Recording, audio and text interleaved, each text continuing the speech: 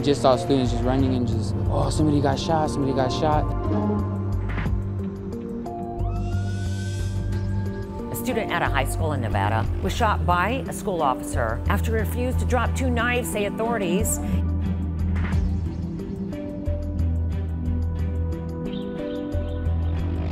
Earlier in the day, there was an altercation between two students on campus. At some point following that altercation, one student, a 14-year-old male, had armed himself with a knife.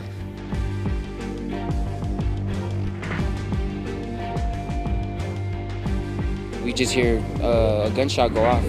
And, you know, we didn't think much of it until we saw, you know, students running away. The other teacher had to pull me in the classroom and like it, I didn't feel safe. The student was transported to a local hospital where, he's being, where he is being treated for a gunshot wound.